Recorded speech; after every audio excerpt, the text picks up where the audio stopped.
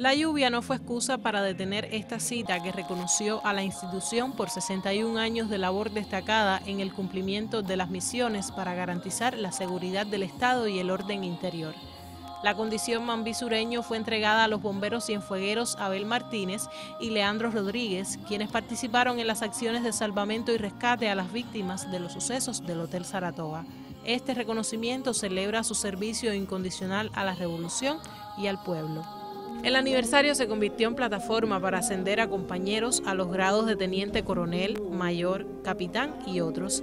Este reconocimiento está avalado por la destacada labor al servicio de la institución y cumplimiento de las misiones de encargo estatal y otras actividades de carácter global.